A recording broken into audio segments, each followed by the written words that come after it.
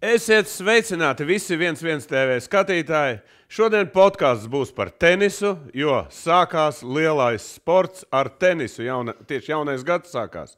Un uh, mums ir izsevišķi liels prieks, tāpēc, kad ir uh, mums uh, trīs uh, tenisisti piedalīsies pamatsacensībās. Un tāpēc es savā studijā esmu uh, ielūdzis vienu no Latvijas labākajiem tenisistiem jau senā pagātnē, un, un kā teikt, tenisa balse Māra Rozentāls. Sveiks, Māra!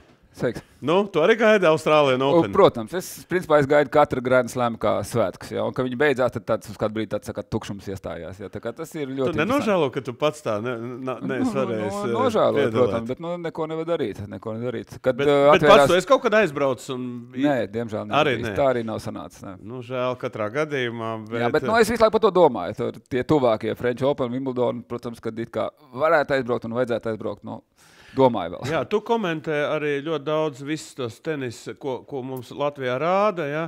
Pasaka, kā, tad, ko, ko te jūs esat plānojuši šogad un, un, un, un, un kāds izstīsies tenis mūsu televizorā? Nu, pirmkārt, jau mēs kā Bezforsporta TV, kā arī iepriekšējā divos gados rādījis visas sieviešu tenisa turnīrus. Tas, tā kā mūsu abas meitenes. Principā visas sieviešu turnīrus, abas mūsu obligāti, un tad nu, katru dienu pa vienai kārtai, vienam mačam, un tad ceturtajā finālā, pusfinālā, finālā kaut kā tā. Tā kā nu, tu principā jau sieviešu tenisam esi gandrīz eksperts. Nu, divus gadus praktiski sekoju nepārtraukti. Jā. Jā, nu tu jau varēsi nu, saka, nokomentēt arī visu to, noprognozēt, kas tur mūsu meitenēm gaida. A, kas aiz mūsu divām meitenēm ir? Vēl, pirms mēs sākam pa Austrāliju un Eiropu, kas tur vēl nāk tālāk? Ir kaut kas tāds, kas varētu aizvietot mums gan, gan Jeļenu, Gan, nu, grūti pateikt. Nu, tā, tās jau zināmās ir Marcinkevičs un Vismans divas, kas ir trešais, ceturtais numurs. Nu, labi, Marcinkevičs ir skaidrs, viņai ir gadi un viņa nu, ir tūkstotā reitingā vai kurā? Nē, nē, nē. nē. 600? Marcinkeviča Viņa ir 250. Ah, 250 tā, trešais numurs, viņai nu, gadi viņa ir jaunāka par sevi tomēr. Tā kā, bet, nu, ne, es domāju, ka ilgi, es, ilgi jau ne, ir tajās... par tiem jauniešiem. Varbūt ir kāda jaunā Ostāpenko, varbūt. Ir kaut kādi jaunie talanti, kas, kas varētu nu, aizvietot. Nu, Sevastovs, piemēram. Ne, nu, cik es zinu, tās trīs nāk. Vismane, tad Bart, Bartone un Špaka. Tās trīs, ja? Trīs, laikam. Nu, nevienu no viņiem zvaigznes eh, status tu neredzi. Nu, tā es nezinu. Grūti pateikt. Tiešām tur ir daudz, kam visam jāsakrīt. Lai, lai varētu. Lai aiziet. Jo bez federācijas kausa, bez tās otrās tenises, nu nekādīgi. Ne, nu, ne. Grūti ir. Jā. Protams, tagad mums jāspēlē pret Ameriku. Ja būs Stāpenko, Sevastovs, būs līdzīgs mačs. Ja viena no viņām nebūs, nu, tad, tad, tad ir ļoti grūti. Jo, jo Serena piekrīt. Serena piekrīt. Un Amerikai sastāvs, ja viņas var izvēlēties no, no desmit. Jā, tās, tās Pieci sastāvs varētu būt. Tieši uzvērst. tā. Nu, viņām ir dubultspējas speciālists, tur ļoti spēcīgs. Bet, nu, ja abas mūsējās ir labā formā, pie labas veselības, tad, tad, tad mēs varam arī vinēt, protams.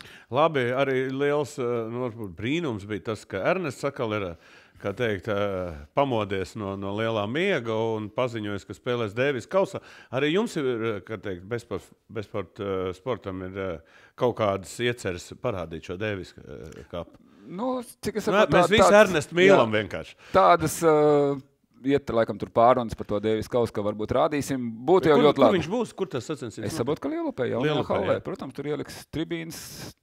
Es atku... Tu esi bijis tur tajā tribīnā? Tu esi bijis tajā halē? Es biju, jā, halē. Kāda ir vispār? Es neesmu bijis. It kā jauna, moderna tāda.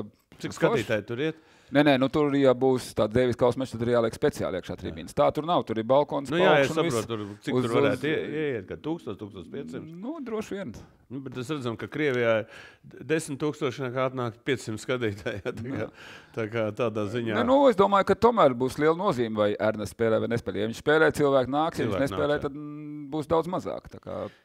Nu, labi, tad pāriesim pie saldājiediem, pie Austrālijas Open. Nu, lielākā ažiotāža šonadēļ bija nu, par gaisa kvalitāti. Jā, visi sūdzējās, un visiem jā. bija, vienam jā. bija, vienam nebija problēmas. Tā vajadzēja pārtraukt, nevajadzēja pārtraukt. Mm. Nu, baigi ažiotāža. Bet pēdējās prognozes ir, kad uz pirmo dienu gaisa būšot tīrs. Attīrīs. nē, nē, nu, es domāju, no, nu, tās nelaimes, kas tur notiek, nu, mm. vienkārši es domāju, nu, tas ir kaut kas tāds. Nu, tas ir briesmīgi.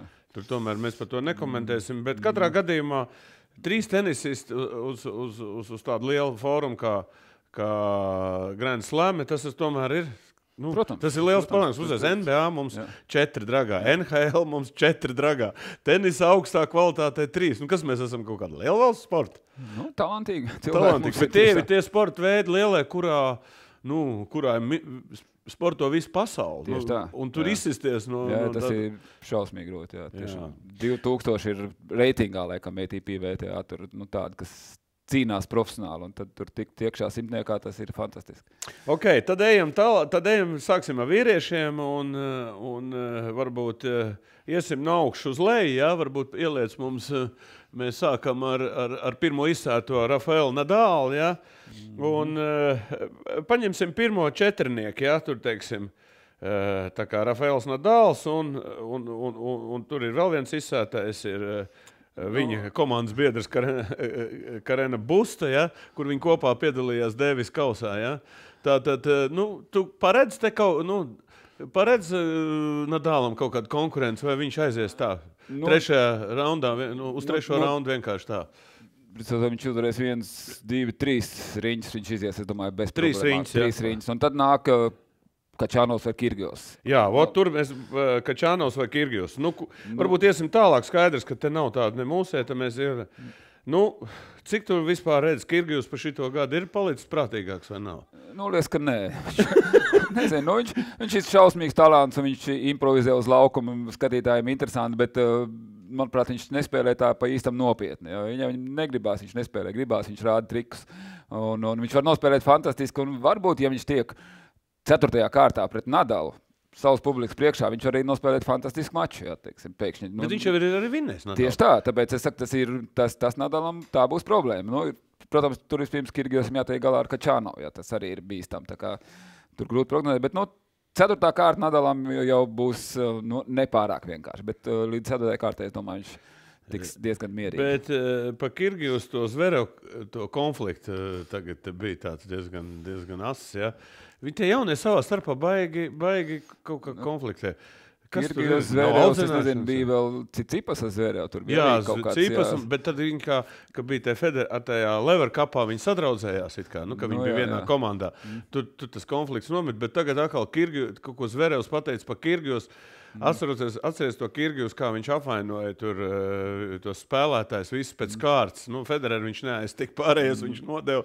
Vispār, kas tas ir tāds? Tas, tas tā kā, Es nezinu, nu, tos jaunos reizēm tiešām grūti saprast. Nu, viņi pēkšņi kļuvuši par zvaigznēm, par miljonāriem. Varbūt nu, tā īsti vairs nespēja Makinoja domāt. Konors laika ir atpakaļ. Nu, varbūt. No, nezinu, no vienas puses jau tas ir interesanti, bet, no, ja, atkal, ja tas ir mazliet pat raku, tad nu, tas varbūt kaut kur pat krīt uz nerviem jā, reizēm. Bet nu, pagaidām, man liekas, viss tur tomēr tā normas robežās vēl ir. Bet, nu, ir bijuši, protams, gan tas cits izgājiens, ka viņš tur tēvam gandrīz trāpīja ar raketi, tad uh, zvērēja uz savu tēvu, tur nolamāja šausmīgi. Nu, nu, tas Nu, tā nav audzināšana. tā Kas tas laikam ir? kaut kas tur- Nu, tu tomēr esi Nu, trenējis. vai laikam sportē? viņi nepadodas vairs tādai audzināšanai. Ne, bet, jā, bet ir jau sponsori, ir jau tas, kas ir. Federers ar citu savā laikā teica, es jau biju tāds pats kādreiz. Tieši tā, jā, bet es savācos. Jā, jā. Nu, varbūt ka viņi arī savāksies. Varbūt ka viņiem parunās tiešām kaut kādi sponsori, nopietnāki cilvēki un kaut ko viņus mazliet savaldīs. Bet nu, no otras puses, tā kā viņi ik pa brīdim mazliet izlādējās, tas jau nemaz nav, nav slikti. Nu, ko tad tu, tava prognoze eh, būs, eh, eh, teiksim, šeit? Nu, Paņemsim, nu, Nadals būs tā kā pirmajā, ja tā četri, un otrajā, teiksim, četrniekā. Tu redzi, ka Čānaus vai, vai, vai Kirgijus, ko tu liktu? Nu, no savas puses, kurš uzvarēs? Es domāju, tomēr, ka Čārnaus, ka Kirgijos tomēr neizturēs. Tur Neizturēs ir spiedienu. pieci seta mačs, un kaut kur viņš eh, noplīsīs, kaut kur varbūt sāks pa daudz pēdējā laikā ļoti, ļoti, nest... Nu, ļoti jā, nestabils. tā. Te Vēl būs tāda. Kas tur vēl jau tur ir kaut, kaut kāda? Varbūt nu, var tāpat, jo, jo Jā. Kirgijus ir tā, viņš jau nenovērtē ļoti daudz. Nu, ko Evas, Nu, nu, Saimons, nu, es nu, domāju, tomēr tie, tie, nav. Jā, tie tā nav kā tādas. Nevajadzētu būt. Jā, Nu, tā. un uh, Nadalam gan, gan uh, qualifiers, uh, Mhm. mm. Delēns un gan Delbonis, Sols, es domāju, tie Tā nav. tur nevajadzētu būt tādiem nav pārsteigumiem. ja nu vienīgi kaut kāds traumas. Nu, tieši tā, traumas varbūt vienmēr. Un Kareno būs arī, tā, arī Nu, nav domāju, īstais. ka nē, Arī nē, nevarēs, jā. Nu, ok, tad mūsu pirmais, varbūt tāda pirmā prognoze būtu pirmā, pirmā kārtā, tad, tad tur būtu Kačānos, uh, Nadāls. Un, starp citu, Kačānos Nadāls ir ticies, man liekas, US Openā, te nesen bija baigais mačs viņiem, ja? Tā kā es domāju, tu, tas, tas būs, tas arī būtu. Nu, Nadāls, Kirgijus, Nadāls, Kačānos, es domāju, Tas, ir tas jau pirmais. jau Sākās tiešām visi tie lielie notikumi. Tiksim, Ok, tajā ejam tālāk. tabulā. Mēs skatāmies, eh, nākošā ir Monfils ar vienā galā, un otrā galā ir Ernests Gulbis ar Augeru Alasime, kas ir uh, francūzs, bet dzimis viņ, ne, viņš ir, nav, nu, viņš ir francūzs, bet viņš Nu, ir Kanādu ar, ar pārstāvja. Kanādas karoga, dzīvo Monte Carlo. Jā, tā kā, bet uh, Čalis ir 20. rak, nu, 20 izsētais, 22. pēc to. Nu, ko, Ernsts, viņu var paņemt uz kaut kādu tādu pieredzītu, vai, vai kā? Kādas tu redzi vispār? Tu, tu esi viņu redzējis pats. Es esmu mazliet redzējis, Ernests redzam jā. rādītājs 254. un Jā, ā, bet no labākais desmitais viņam vienmēr stāv viņa augstākā vietā rangā. desmitā. Desmitā. Nu, šis puika 22. vietā mēs redzam arī. Nu, Nu, metra- teiksim, Augums labs viņam, jā, viņš ir atletisks ļoti, bet um, nu, es pāris spēles viņu redzēju. Tādu tād šausmīgu iespēju man viņš neatstāja. ar ko viņš atstāja? Ka- Kāda varētu būt problēma Ernestam? Man liekas, ka Ernestam pašam ar sevi vienmēr Nu, jā, tieši tā, nu, stabilitāte galvenais. Vienmēr noturēt, vismaz noturēt savu servisu laiku. Viņam Tur redzēji, tas trīs mačus. Jā, tu redzēji, tos mačus kādu vienu. Es redzēju pirmos divus. Nu, pastāst lūdzu par viņu spēli. Kas ir mainījies? Un, un, un... Nu, Viņš spēlēja vienkārši mierīgi, stabili, diezgan pārliecinoši, labi ņēma savu servisu. Nu, otrajā mačā pret to Argentīnieti viņš otrā setā pēkšņi atdeva 6 gēmu pēc kārtas. Viens no bija vadībā, viens no bija vadībā ar breiku, pie viens no zaudēja savu servu cīņā, un tad 6-1 setā A, deva. Kā tā var Nu, vīrieši? tā atdot? notiek reizē. Tas meiteņu variants ir. Bija games, lai panāktu 2-0 savu servi. Tu kaut kur cīņā nepaņēmi dusmas, uzreiz 2-1 pa sliktu. Padomā, domāju, tikko es biju vadībā brīvā, zaudēju vēl vienu savu servi, 3-1, un tad tas aiziet. Nu, tad, viņš ir- tad ir patīkami, kad viņš trešā setā ir atkal saņēmies un tomēr vinnēja. Piemēram, 6-2 trešo setu. Tas, tas kā ir tas ir, svarīgi. piemēram, tenisā pastāstīt? Tu, tu, tu zaudē.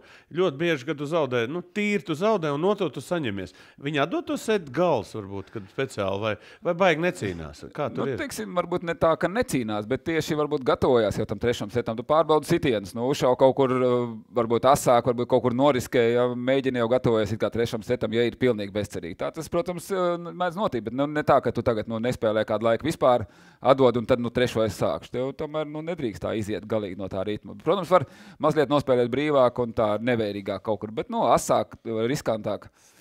Labi, pieņemsim, ka Ernests vinnē šo, šo kanādieti, un tad nāk Dukvorts ar Bedēnas uzvarētāju. Nu? Arī, arī ņemam. Nē, nu, protams, nu, tie ir tādi vidēji līmeņi spēlētāji, kur tur visu laiku atrodas. Varbūt iedod mums gan, Jā. Gan uh, Dukvordu uh, un, tur uh, laikam- un Bedēnas lūdzu tos rādītājus. Ja? Nu, mēs redzam, uh, arī 96. pēc reitinga, ja? Austrāls jau 27 gadus savos labākos gados, arī maz augumu. Vien, un mēs redzam arī Bedēnas, ja? Slovēns, 54. raketa un, un, un arī jau, kā teikt, nu, 30 gadīgs arī Ernests. Nē, nu, tie ir tādi, kurus tiešām var vinēt. Kurus var vinēt. Kura Kuri ir ļoti labi spēlētāji. ir- Jā, tie ir labi spēlētāji, bet kurus var vinēt. Ar to francūzu, protams, būs grūtāk. Un tas ir jaunais talants, kas tagad pēkšņi iet uz augšu. Nu, un... Tas būs, tā būs, principā, ja viņš var Jā. vinēt, viņš var uz trešo raundu pat aizskriet. Tieši jā. tā, tieši tā. Bet nu, tā būs fantastiska spēle. Es domāju, Ernests pret to jauno francūzu. tas Ir jau zināms kalendārs, kad viņš spēlēs. Manuprāt, nav. Nav vēl. Es zinu, ka meit, sievietēm ir pirmie. Ir dažas spēles Jā, jā. uz, uz pirmdienu, tās, kurām laikam nebija kvalifikācijas, jau bija ielikts. Bet es La, neesmu la, redzējis. labi, nu, un ja tad mums paveicās, tad trešā kārtā nāk Monfils un Lūks. Jā, un uh, nu, Monfils mēs zinām, viņa, interesanti, kāda viņam ir Nu, vispār. tur vēl ir uh, Kevins Andersons pa vidu, kas laikam. Nē, nē, viņi, Nē. es domāju, Ā. ir vienā zarā, kurā es, mēs runājam par to vienu. Ah, jā, zaru. gulbs iet uz augšu. Jā, Andersons pēc tam, jā, ja, jā, ja, ska- ja jā, viņš jā. vinnē, tad viņš ir Nadāla un Kačāna. Jā, jā, jā, nu, tur skaidrs. ka tur jau tas ir kosmos, ja viņš tiks, bet, bet, bet teiksim, Monfils, nu, nu ļoti nestabils spēlētājs, 33 gadi, bet viņš vienmēr labi iesāk. Kāpēc viņš ir 9. vietā? Viņš ļoti stabils visu Jā. sezonu spēlē. Viņš nevin, nevar būt. Jā, viņš neiztur līdz galam. Jā, jā, Turnīrs, bet viņš turnīrs, ļoti, ļoti labi iesāk. Jā, un mēs redzam arī e, jauno talantu.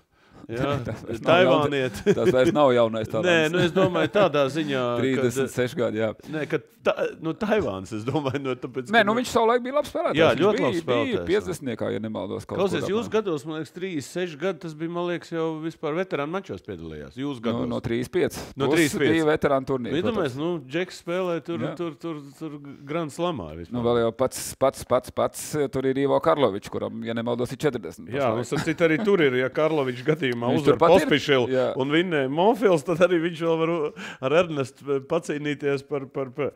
Nu, es teikšu tā, nu, kā tu vērtē šo astotnieku, ja, uh, godīgi sakot, Ernestam ir paveicies tā, ja, ja, nu, varēja būt trakāk.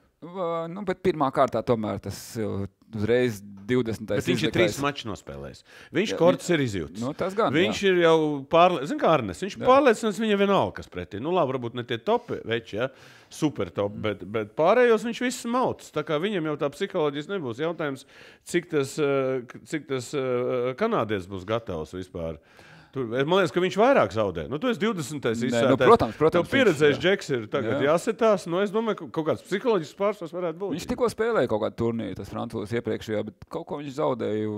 Nu, jā, bet tu esi, tos arī nevar tā Nu, nē, skatīties. to nevar skatīties, jā, protams. Bet, nu, es tiešām nezinu, grūti pateikt. Nu, katrā ziņā favorīts manā acīs tomēr ir francūzis. Viņš tomēr ir jaunāks un spēlē lielākā tempā, varbūt. Un, un, tā, bet nu, Ernests var sagādāt pārsteigumu. Labi, ejam vēl tālāk. Tālāk nākošajā zarā iet eh, Dominiks Tīms. Ja? Arī, un, un otrā galā ir, ir Frits, amerikāņu tenisists. Ja? Tur ir gan Kevins Andersons. Ja? Ir eh, nu, no tādiem pazīstamiem. Nu, man Marīnu arī var, var izšaut. Ja? Katrā gadījumā, nu, kādu turēt šeit, šeit, šeit sadalījumu? Tu domā, ka izsētie dominēs? Vai Andersons ka... tomēr eh, to Frits var apspēlēt, ja tiks? Nu, Kā nē, liekas no? Andersons Frits var apspēlēt, protams. Kāds viņš ir bija- pēc traumas? un Viņš Nu, jā, nu, tā, to grūti pateikt, bet nu, tāda, teiksim, tāda, tāda pieredze lielāka, protams, ir Andersonam tāda līmeņa nu, mačos. Un, ja viņš ir atguvies pēc traumas un ritīgi trenējies, kārtīgi gatavojies, tad viņš ir tomēr labāks par Fritzu. Bet nu, tur galvenais favorīts tomēr ir asotnieka tīms, manuprāt. Nu. Nu, var dažus vārdus par tīmu. Viņi kopā ar Ernestu trenējušies ilgus gadus. Es atceros, Ernests tur bija topā.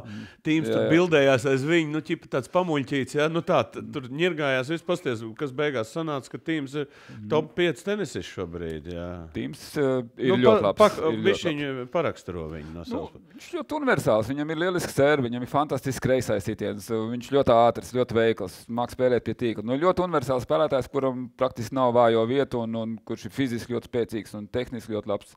Nu, viens no tiešām top 5 un tādam tam jābūt tā, absolūti universālam, kas visu Redz, prot. Pa- pa- Par tīmu jau saka, viņš ir princis uz, uz, uz to kleju, ja, tā kā uz, uz, uz grāmatas ceļiem. Nu, te ne uz grāmatas uz grāns- grāmatas laukumiem, ja, jo, tā, teiksim, ja Nadals ir karalis, tad viņš jau tagad princis tā sauc viņu. Ja, teiksim, tā kā viņš jau arī ir ieņēmis to vietu. Un, bet, nu, Jā, bet, viņam- viņam... nu, es, es neuzskatu, ka viņš, nu, jā, protams, viņam ir, labāk rezultāti uz, uz tā māla, uz, uz Nu, tur ir bet, uh, Nadal bet viņš var spēlēt arī uz cietajiem. Viņam ātrums ir milzīgs sitiens, servis no gaisa. Viņš spēlē ļoti labi. kā- Federer vinnējis, viņš viss līderis ir vinnējis. Es domāju, ka tīms tiks līdz astotniekam. Un tiešām ceturtdaļfināls tur laikam izskatās Nadals tīms. Tā, kā, Tātad tavs ceturdaļfināls ir Nadals tīms. es domāju, ka jā, Iedomājieties, tur- pirmais jā. un piektais izsētās tie, kas Jā, nu, tā ir izlozes. Tā ir izlozes tieši tā. Pirmos četras izliek. No 5. līdz 8. pielozē klāt. Un tad, tad, ja tu esi 5. to trāpīt. Tas ir tavs prognoze, ir Nadals tīms. Ja? Jā, es domāju, nu, es nezinu, kas tur varētu viņus apturēt. Nu, kā mēs runājām, ka Čānos vai Kirgijos var Nadal apturēt, bet tīms, man liekas, aizies līdz astotniekam. Ja viņam būs veselība kārtībā, nu, Viņam īsti pretinieki ar to tieši tā, tieši tā, viņam līdz astotniekam. Labi, šo ceturdaļu finālu mēs atstājam. Mēs ejam uz otru ceturdaļu finālu. Tā, tā zara otro pusi.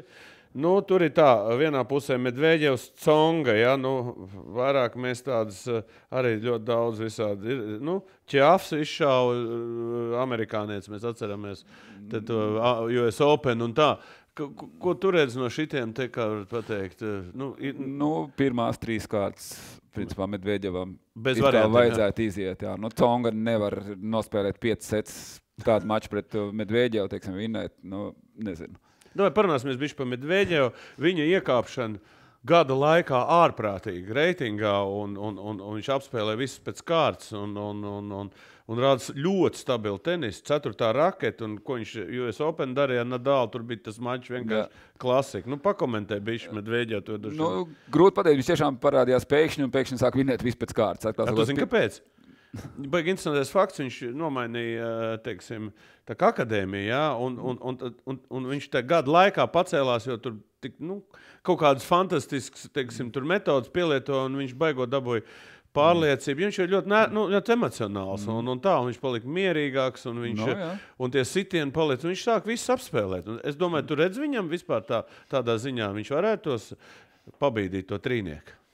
Nu, laikam viens no tiem, kas to tiešām arī Bet izdarīs. tu esi tā papētījis viņa spēli. Nu, es skatos, viņam ļoti tād, savdabīga Jā, tehnika. vot Nav tehnika, viņam par to klasiska, tehniku jā, varbūt, bet jā. Tie, kam tās savdabīgās tehnikas parasti, tiem arī ir fantastisks bumbiņas izjūta. Viņa to bumbu var darīt, ko grib praktiski. Gandrīz divu metru jā, džekam. Jā, nu, tas uh, arī fantastiski. jā, viņam ir sērva ļoti laba. Un, Un, un viņam vienkārši fantastiski tiešām bumbiņas izjūta. Ja tev tāda kaut kāda varbūt neklasisku tehniku var viss apspēlēt, tas nozīmē, ka to, to bumbu dara, ko grib. Jā. Un tad viņš var nolikt, pārcelt, uh, apvest, aiziet pie tīkla. Principā ļoti labi spēlē pa visu laukumu. Un, tiešām tāds interesants, nestandarts, viss viņam tās sitieni. Un, nu, nu, nu, jā, Nu, tad es domāju, viņš tur ir absolūts favorīts. Ja? Tad galā. Nu, Nu, līdz tur Nē, tūlīt mēs iesim jā. to nākošo, zā, nākošo četrnieku, nu, astotnieku, nu, kad četras uh, cīņas. Tātad, nu, izners uh, vienā galā, Vavrinka otrā galā. Nu, pa vidu ir vēl, nu, teiksim, kas tur Džunhurs un Sepija. Un tad tur ir ļoti daudz kvalifikācijas, Mhm. Džek, bet, bet uh, nu, ko tu nogumēs? Vis- Vecā, vecā, kā saka, vecā paudze izners pret Vavrinku. Jā, nu, kaut kur es lasīju, ka Vavrinka esot pašlaik ļoti gatavs uz to Bet Austrālijas Vavrinka jāuzmanās tiem Jā, viņš esot speciāli gatavojies un viņš esot ļoti labā formā, bet nu, viņam arī gadi tomēr trīs, nu, četri būs. Nu, laikam mēs nerunāsim par Federeru, tagad nu, jā, Džokovi, jā. nu, par Nadalu Jā. gadiem. Jā. Varbūt uh, Nu, Vavrinka ir mazliet vecāks. uzliec Vavrinku, lūdzu. man- Vecāks par Džokoviču un Nadalu viņš ir mazliet, bet nu, jaunāks par Federeru. Nu, ko, Bet ko, nu, Vavrinka ir bīstams, protams. nu, ko tu viņ- prognozē? Izners vai, vai, vai, vai Vavrinku? Kas tev Nu, ja Īsners vai Vavrinka, tad tomēr Vavrinka. Nu, Īsners pēdējā laikā viņš vairs nekustās tik labi. Viņš ā, vienlaika viņš bija tur desmitniekā, viņš arī kustējās fantastiski. Ne tikai sēru, bet viņš spēlēja no galīnijas. Nu, pēdējā laikā vairs viņš tā īsti nekustās. Nekus- un jā. tikai ar to sēru tomēr nepietiek. Jā. Bet Vavrinku ir tā, ja viņš iziet pirmās trīs raundas, viņš paliek ļoti bīstams. Tieši tā. Viņam ir problēma, viņš var zaudēt arī pirmā kārtā Džunkuram. Var jā, zaudēt. Jā, jā, protams. Bet, ja viņš izies šos trīs kārtas, ja, es domāju, viņš paliek ļoti bīstams. Ja. Nu, un Nu, jā. tādā gadījumā es gribētu tev, tev, tev, tev nu, uh, tā. Tā tad, ku- kā tu redzi, šobrīd tad otrā četrnieka tur ir Rubļovs eh, un Gofins. Nu, teiksim, vienā galā ir Rubļovs, otrā Gofins. Nu, Rubļovs nospēlēja tikko divas turnīras pēc kārtas. Fantastiski. Un viņš eh, spēlēja, ja nemaldos, Deivis kausu. Fantastiski. Ja. Rubļovs pēdējā laikā vienkārši rāda neticams spēlēt. Tāds tieviņš, galīgi maziņš, it kā puišels, bet kā viņam lido bumba. Abrīnojami. Tā Bet kā... interesanti ir tas, ka nu, eh, tas Rubļovs varētu būt viens no tādiem, nu, kā teikt, eh, melniem zirdziņiem. Ja? Tieši tā, tieši tā. Nu, viņš tagad uzņēma fantastisku formu, un nu, viņš var arī tikt ļoti tālu. Nu, un uh, Gofins jau arī, bet tas arī, teiksim, viņa tā kā Gofins šķiet, Rafter jā. likteni gribēja, nu tā kā viņš būtu Rafter tāds, tāds tā kā Vederers viņu nosauc par nākošo Rafter, bet ļoti nestabils. un Nu, viņš lēnām Viņam arī ir kritums. iet uz leju. Tieši tā, Gofens lēnām iet uz leju. tā kā Tur es. Tur redz Rubļovs. Tad Rubļovs. Rubļovs no viena gala, nu, un Medvedevs no otra gala. Krievu duels. Jā, tas būt. fināls. Tad iznāk tā, ja Bet ka... tur kaut kur ir Zverevs. Zverevs uh, pa, pa vidām. Ja nemaldos, Zverevs iet uz. Nu, nu jā, Rubļovs ar, Rubļovs ar Medvedevu spēlēs ātrāk. Tas ir par iekļūšanu astotniekā. Rubļovs ir 17. izlikts. Jā. Viņš pēc 4. tas ir par iekļūšanu 4. finālā. Jau. Viena riņķa ātrāk. Tad, tā, tas jau būs. Ah, jā, pareizi. nopietni. Mēs neizgājām vēl pēdējo kārtu, jā, kurā ir Bas, uh, Zverevs. ba. Basēšvili un Zverevs. Pareizi. Viņi iet Nu, ar jā. Rubļovu kopā. Pareizi. Un, eh, nu, pa Zverevu vispār, nezinu, starp citu, nezinu, kas viņam vispār notiek. Jā. Kas, viņš, viņš vinē turnīrs. Nākušā viņš galīgi izgāžās. Un šī tā drausmīgā, tas ir tā kā krievu mentalitāte viņam ir, vai, vai kas viņam ir izlaidies. Un, un, un, un pēdējās tās, ko viņš tur to tēvu pa visu internetu izskanēja. Grūti pateikt, tiešām ārkārtīgi talantīgs čalis, bet nu, kaut kā tas neattīstās, viņam neiet uz priekšu. Bet, nu, vienalga, septītais pasaules arī, protams, ir jau Nu, viņš jau gaidījis ar arī to pirmo vietu. Es domāju, viņš jau tā kā. Nu, viņš ir vinnējis ar visus līderus, bet, bet, Jā. bet, bet kaut kas viņam pietrūkst. Tu esi papētījis viņa spēli.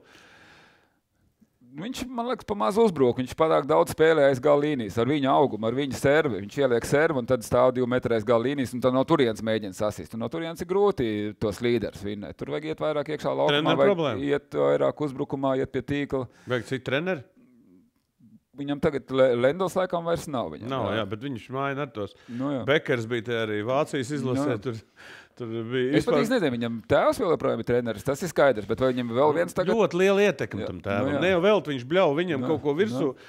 Ja nesanāk, jo viņš kaut ko spiež, jo Zverevs varbūt var par tēvu bija divus vārdus pastāstīt, tu tomēr kopā ar viņu es, eh, kaut kur Nu, zināmā veidā labi zini viņu. Ja? Nē, nu, es esmu gan spēlējis pret viņu, gan Nu, kopā esam tad bijuši treniņā. dažos vārdos. Nu, viņš bija pavisam, viņš bija ļoti liels talants. Jā. Viņš tieši bija tas, kas iet pie tīkla, kas lieliski spēlē no Tā gaisa. kā viņa vecākais dēls. Jā, jā. Tas spēlē pilnīgi citu tenisu. Nu, un, tas tēvs bija tas, kas gāja pie tīkla daudz un ļoti labi spēlēja no gaisa. Nu, viņš bija, ja nemaldos, pirmais numurs padomu senībā savulaik kaut kur 80. Un tad viņš aizbrauc uz Vāciju, ja? Jā, viņi aizbrauca uz Hamburgu, tur viņi arī palika dzīvot. Ja? palika dzīvot. jā. Bet tagad man interesanti attiecībā par viņu. Ja? Kāpēc viņš nespēlē tēvu? Viņš ir mātes dēls vairāk, ja tu teiksim, nu, pirmā, vecākais ir tīri spēlē kā, kā tēvs, bet nu, viņš iet pie tīkla jā, pēc nu katra jā, sitiena. Nu, jā. tur ir uh, serve un volej, bet, bet, bet tu, kā tu saki, kas tur? Tu, tu Nu, domā, jā, ka viņš var salauzt to spēli? Un, un, Nu, Vajag viņam kādu, kādam piespiest viņu iet vairāk iekšā laukumā, vairāk uzbrukt, vairāk mm, tiešām meklēt tos vinners. Jā. Viņš eh, mēģina no gala līnijas sist ļoti spēcīgi, bet uh, viss tagad ir tik ātri, ka visas tās bumbas dabū vienkārši atpakaļ. Un cik tu vari sist no gala līnijas? eh, Stundu, divas, un tad tu vienkārši piekūst. un Tad arī ar to viss beidzās. viņš neizmanto savu potenciālu. Manuprāt, arī jā, tieši tā. Nu, ko tad uh, Zverevs vai, vai Rubļovs? Ja? Pirmais krievu modelis, pirmais krievu, Jā, tas būtu interesanti. krie, un, mačs. un otrs būs uh, ar Medvedevs ar kaut ko, ja? ar Vavrinka, jā, piemēram. tieši tā. Tur, Medvedevs, Vavrinka un, un, un Zverevs pret Rubļovu. Jā, Nu, un, un augšā vēl Kačānos, principā. Pie tādas, uh, pie tādas nejaušas varbūtības viss Krievija var tikt divu vesels pusfināls Krievija varbūt. Nu, apmēram jā, tā, tā pusfināls varētu sanākt, protams. Jo no dāla mēs arī zinām, ka Jā. viņam Austrālijā mūžīgi kaut kas notiek, vai nu, kaut kāda trauma vai kas. Viņš jau tur ir nu, tāds vienīgais eh, reālais konkurents Krievijam pēc būtības. Ja tur saka. Nu, jā, Nu, Kirgijos jā. varbūt, varbūt vēl jā, tā, tādā ziņā. Tā kā ši, šis zars, kā tu vērtē šo zaru, piemēram, nu, viņš tā kā ir eh, stiprāks, vājāks par to otru vai, vai kā. Vai, jo tur tomēr ir Federers, Džokovičs ja, un Cicipas. Ja. jā bet uh, tie trīs laikam arī tur ir tie paši labākie. Augšā tur laikam tomēr ir uh, lielāka tā konkurence. Tā izskatās. Tā izskatās, jā, kad, kad ir. Jo tomēr nu, tāda.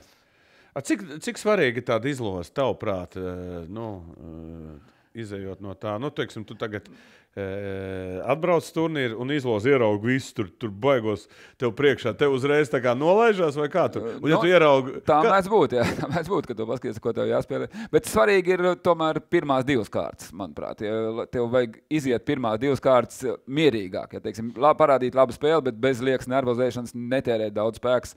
Un tad, kad tu esi divas kārtas izgājis, nu, tad jau praktiski ir vienalga, ar ko tu tur spēlē. Tālāk jau atkarīgs no tiem līderiem, atkarīgs no tā formas, ko tu esi uzņēmis, no fiziskās sagatavotības.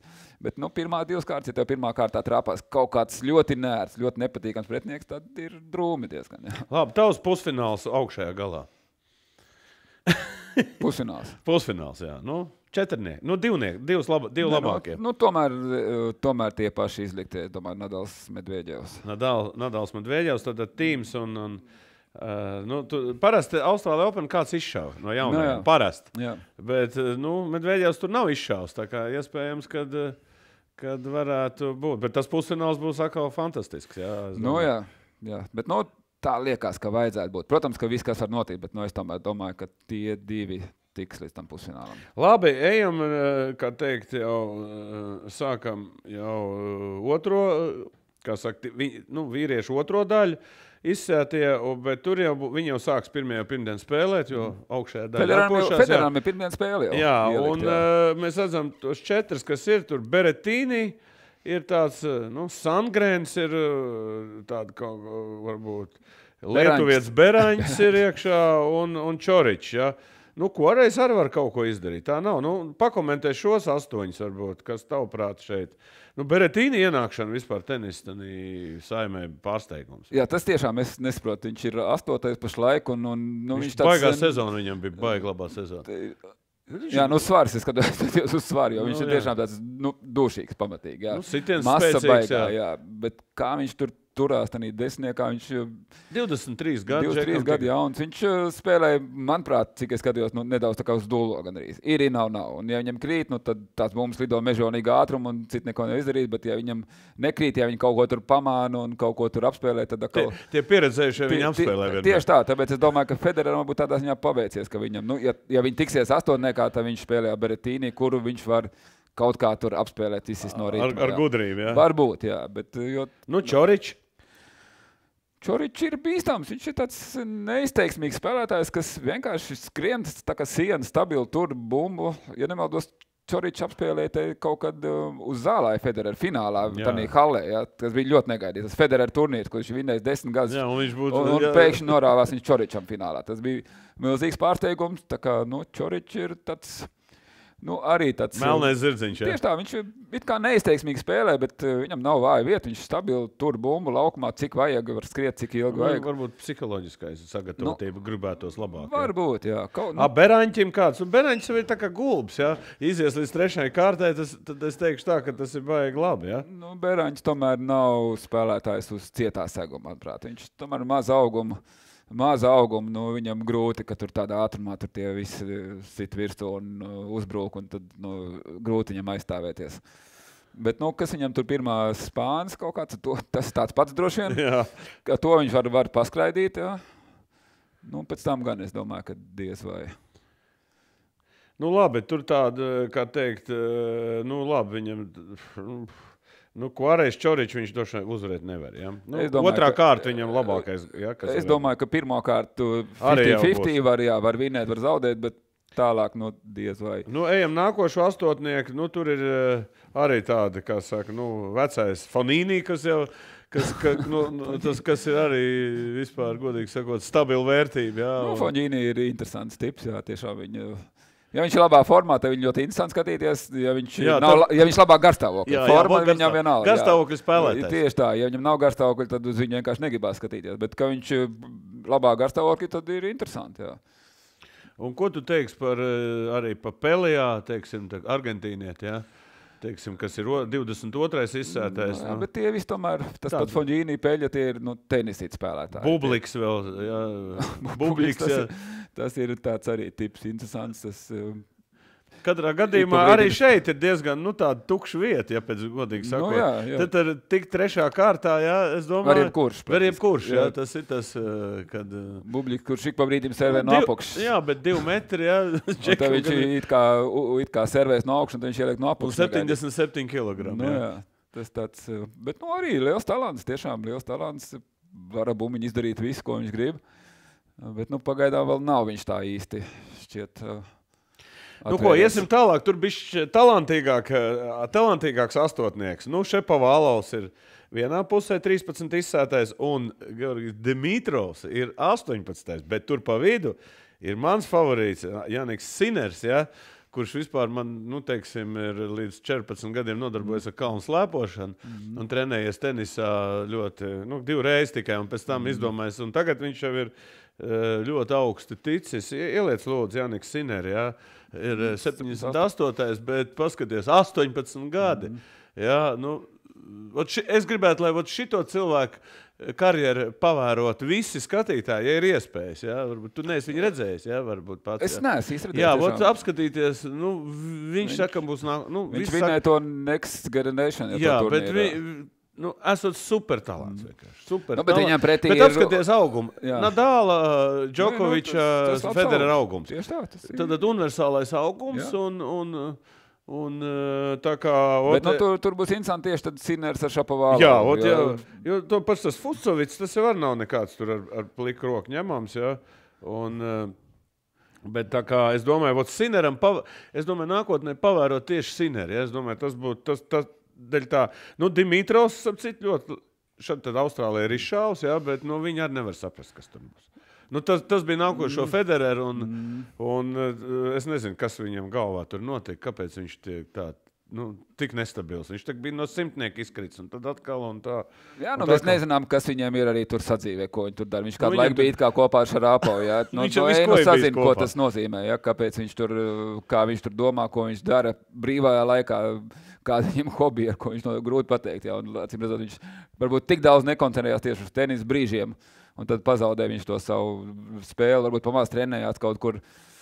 Mēs to visu tā īsti nezinām. Bet, nu, katrā ziņā Mitrovs tiešām bija no tiem lielajiem talantiem, kurš arī nav. Kurš arī sev nav, pie, nav, nav piepildījis. pie- piepildījis, Labi, tad uh, tavu prognozi Šepovālovs, Dimitrovs, Siners, nu, Maiers ar Pauli, es domāju, nebūs tur konkurenti, jā, tur arī kvalifikācija ir. Land, Landēra, jā, arī, nu, Nu, man jau patīk Šapovālaus. Viņš spēlē fantastiskā tempā. Tas tik asi, viņš- tik asi viņš spēlē. Tādā, nu, viņam tikai kaut kur arī tas arī vēl Krievu uzvārds, jā. Nu, viņš ir eh, minēlis no Izraels uz Kanādu pārcēlies. Nē, nē, bet eh, Krievu uzvārds, Krievu apskaties, jā. visi Krievu Jā, uzvārdi. bet nu, viņš spēlē fantastiskā tempā. Kaut arī nav liela auguma. Nu, anu, metrs 85. 85, nu, viņam ir tas vidējais. Tomēr ir Nu, zolīts. Krēls viņš ir, jā, un, Krēlis un, un spēlēja- 20 gadu puikam tikai. Spēlē fantastiskās. Tā, fantastiskās. tā, tā arī nākotne, jā. tā ir. Jā, tas ir viens no tiem, kas arī, manuprāt, drīz viņam jābūt ir jau desmitniekā un, un pat vēl uz Tad tu augšu. saki, ja Siners nevarēs izsist šāpā. Es domāju, ka nē, Bet, ja tomēr. izsitīs, tad tā būs sensācija. No, jā, protams, bet es domāju, tomēr nē. Bet Man- noteikti tā sensācijas. Nē, nu, protams, jo katrā kārtā kaut kas notiek. Labi, tad iesim tālāk. Uh, ir Hurkos ar uh, vienā galā, 31. izsētais, nu, un Rodžers Federers lapakšā. Nu, e, tu redz no tiem astoņiem kādu, kas vispār viņam var. Nu, Džonsons arī citu, viens no tiem, kas man liekas, mācījās augstskolā un, un to karjeru. Ir- Džonsons tikko bija finālā. Viņš iepriekšējā ir NCAA čempions arī. Ir, jā, tā Bet kā- viņš tikko pa- Jā, jā, šonedēļ bet viņš nu, es tik finālā. saku, ka. Nē, nu, nu, nu, Džonsons nevar vinēt Federeru. nevar. Trīs, Arī vienalga, trīs setus viņš nevar vinēt. Viņš varbūt var vienu vinēt, bet trīs viņš pret Federeru nevar vinēt. Nu, kas vēl šeit? Milmans eh, varētu. Milmans ir tie, tie austrāļi, tur pāris ir. Viens gan laikam nespēlē, tas Deminaurs. Tas Jā, jā. nespēlē traumu. Deminaurs, Milmans tie tādi ļoti nepatīkami. Bet ļoti Pols, bīstami. Hurkašs nu, un uh, uh, Austrijas Novaks, nu, tur tāda, tā arī tāda diezgan interesanta publika. Ja. Nu, es domāju, Federam šeit nav Nu, nu, nu, konkurence. pirmās trīs Viņam kārtas viņam vajadzētu iziet. Jā. Viņam uh, ar izlozi vi- viss kārtībā. Bet, ja. nu, jā, jāspēlē ir un jāuzvar ir. Tur, Nu, labi, mēs ejam tad Federers un, un, un, un otrajā augšējā galā, tavuprāt, uh, Beretīnī vai, vai, vai kas varētu viņam Nu, Federam pa ceļam tas pats Šapovālos, man ir, jā. šapovālos, jā, tomēr. Pa ceļam, jā, Jā, jā tur, tad- nu, tas ir, tas man liekas ir tāds, kas nerespektē to pretinieku. Tātad pirmās problēmas Federam sāksies pret šapovālu. Man, manuprāt, nu, jā, protams, Siners ne, neizsitīja Jā, nē, Šapovālos. jā, ot Siners man ir baigā vispār. Bet, uh, interesantais. Federers Šapovālos, tas būtu baigs mačs, kurā es nu, neliktu simtprocentīgi uz Federeru. Ok, labi. Starp citu, es, es arī nobeigumā teikšu, ka mums ir arī viens, viens TV aplikācija prognožu spēle, un tieši šis ir eh, tas, ka jūs liksiet uh, savus variantus. Tieši uh, varēsiet uzklausīt Māra šīs pārdomas un viņa prognozes, un tad arī paši, kā teikt, pēc tam varēsiet nu, izvēli jūs priekšā. Bet mēs turpinām un ejam tālāk. Nu, nākošais ir Cicipas un Raoničs. Ja? Nu, Cicipas fantastiskā sezonas noslēguma spēle. Mm. Nu, Pagājušajā gadā viņš var vinēt Grand Slam. Grand Slamu. Mm, nu, šoreiz man liekas, vēl nē. Vēl nav gada. Bet arī Krieva asins atkal. Nu, Nu, jā. kas te notiek?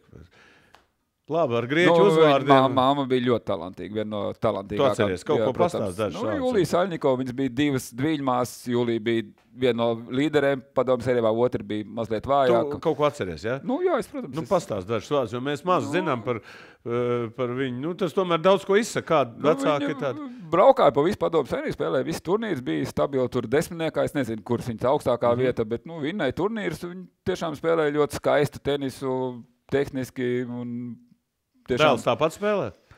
nu, savādāk viņš spēlēja, tomēr asāk. Viņa spēlēja tādu nu, padomu laiku tas tādu gēns ir, ja, skaistu gēns tenisu, ir. vienkārši tādu ļoti mierīgu, smoku visu. Nu, Nē, nē, es domāju, bet Nē, nu, gēns protams, protams, jo mamma ļoti talantīga tenisiste un kaut kas ir iezīmes. Un tēvs, ja es nemaldos, arī bija tomēr tenis treneris. Un, nu, Tā kā tur ir labs jā, jā, salikums. nu, jā, tieši tā. Bet kas viņam pietrūkst tagad? Arī tas psiholoģiskais. Nu, jā, varbūt pagaidām vēl tomēr, tomēr 21 gads tas arī vēl ir ļoti maz. Un, un, nu, Tur jau ir tie izšķiri, jau tu vari spēlēt super, bet tev jāpaņem tas pēdējais game, tā mačbomba kaut kur setu galotnē vai ne pusfinālos. Finālos. Federers tikai no 2-2 sāk vinnēt eh, kaut ko. Tur varbūt tieši tajā pašā mača galotnē tā pieredze ir ļoti vajadzīga. Un, Un gan jau tas atnāks. izšķirošie Gan jau tas sitieni. Bet tā nervozitāte, kas arī viņam tagad, viņš pats atvainojās arī par, Nu.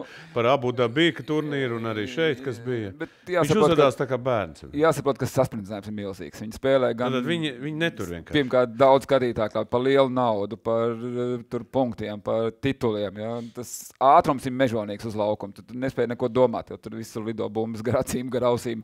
Un, un visu laiku jākoncentrējās. Un kaut kad tu neiztur to. Nu, kaut kad neiztur. Labi, iesim tālāk. Tad Rauničs. Rauničs var cipam kaut kādu. Nu, viņš arī traumēts un tā, bet nu, tas. Viņš jau, man liekas, ir pazaudējis sev bišķiņu. Ja. Jā, nu, Rauničs, viņš nevar, manuprāt, nu, viņam galvenais ir sērve. Pārējais viss. jā bet viņš nevar ar citu viņš nevar nav. Ja, konkurēt. trīs setus vai četrus setus nepārtraukti servēt un visu laiku turēt savu servi ir ļoti grūti. Cipas ir ļoti ātrs, ļoti veikls. Viņš uh, labi saņem servis. Un, nu, es domāju, tur Rauničam tomēr nav nekāda cerība. Ja Labi. viņš tik tālu tiks, jā. Okay, ejam tālāk. Nākošais astotnieks Pērs no Francijas un Bautista Augusts. Arī tāds diezgan čiličs pa vidi ir arī.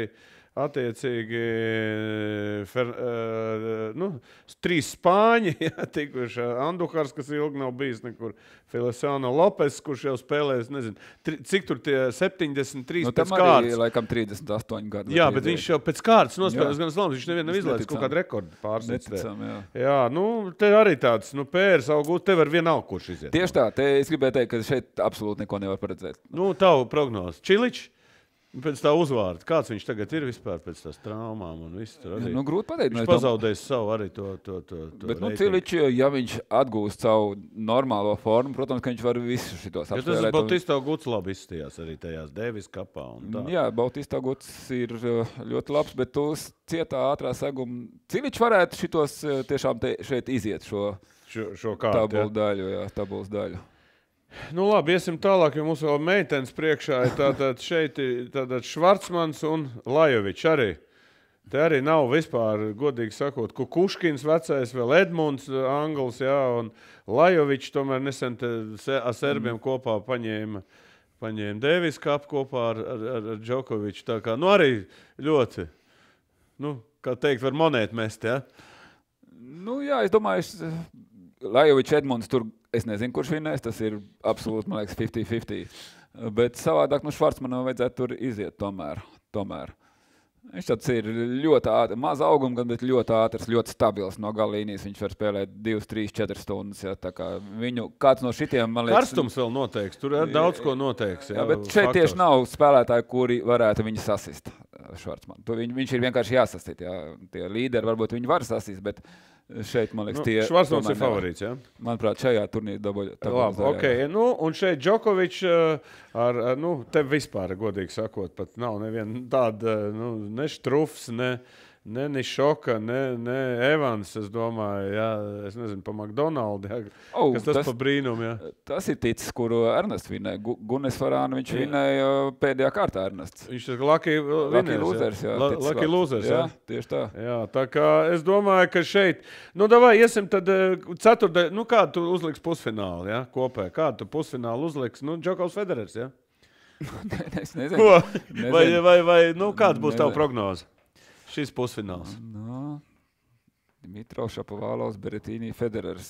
Jā, nu, Nu, pasak tomēr- vienu, nu, tad Nu, tomēr es, es tomēr esmu Federeru. Tātad Federers Džokovičs, nu. Tieši tā. Tātad trīs atkal lielie vaļi.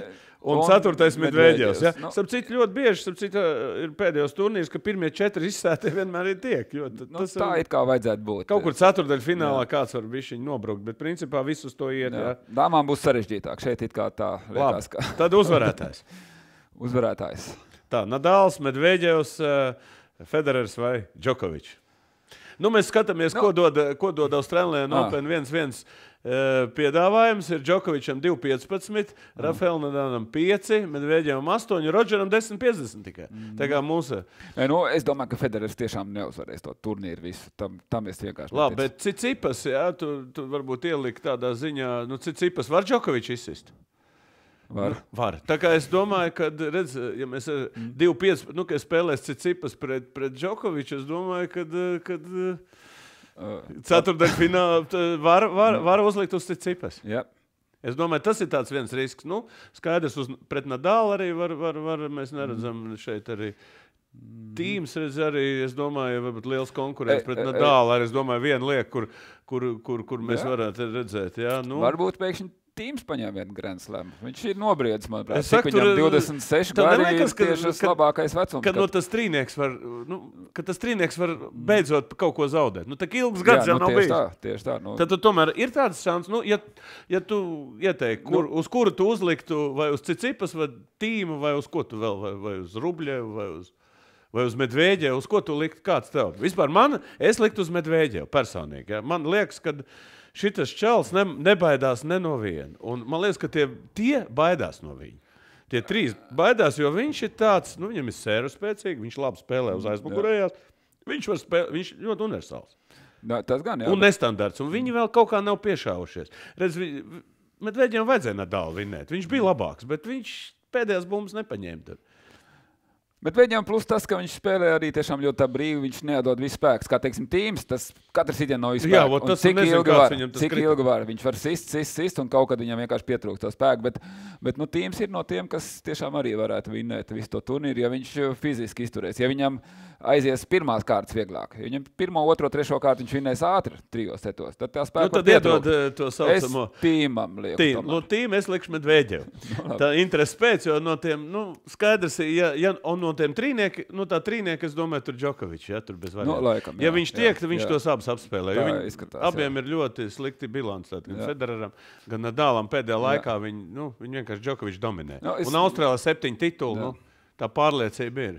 Es... Okay, tad mēs varam lēnām pāriet uz, uz, uz, uz sieviešu pusi. Jā, tur jau tur ir daudz neprognozējumu. Tur ir, ir absolūti. Jā, Kas ir vīriešiem? Tas, ka nu, tur gandrīz ir ceturdaļa finālam sēdi no, jā, jā, ar pīpes obos un, no, un gaitos. Jā.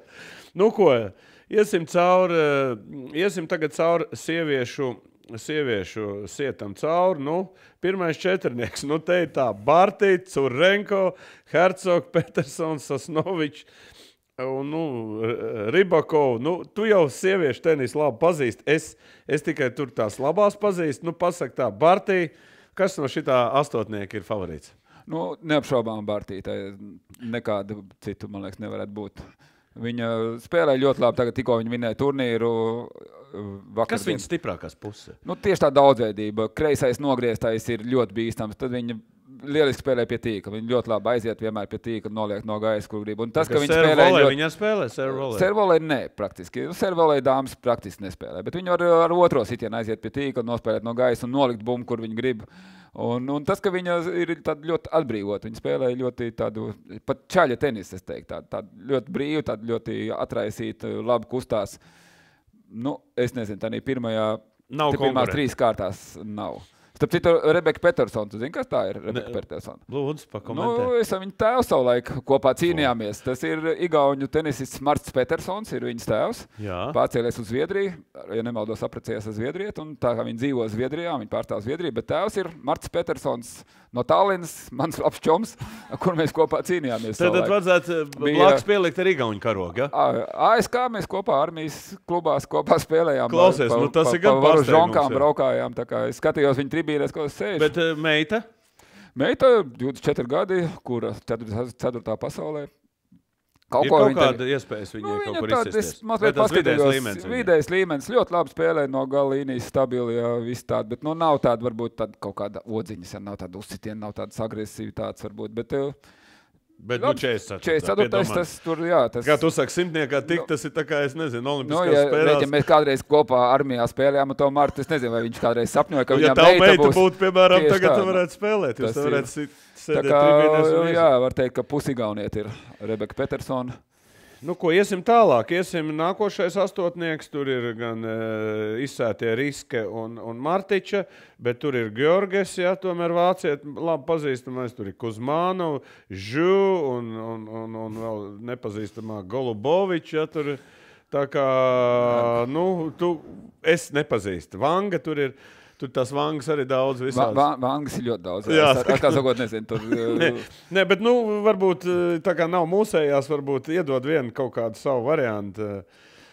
Kas tur uz šo brīdi ir tādā topā varbūt. Jo, nu, sievietēm te varbūt. Kaut Georgijas arī- var Kaut, izsist. jā, kaut arī Gorgas nav izliktā, nu, viņa, manuprāt, ir labākā no šīm visām, kas te ir. Nu, Martiča riska izliktās. Uh, principā Georgijas ir pa viņām, manuprāt, labāka. Bet uh, kaut kā pēdējā laikā Georgijas īsti neiet tā spēle. Viņa tagad zaudēja 7-6, 7-6 iepriekšējā turnīrā. Vienu maču spēlēja labi, bet zaudēja abas setu galotnes. Nu, bet tas neko neliecina. Viņi iet Tieši tā, jā, viņa uzņēma, nospēlēja divus vai trīs mačus tagad Adelīdā.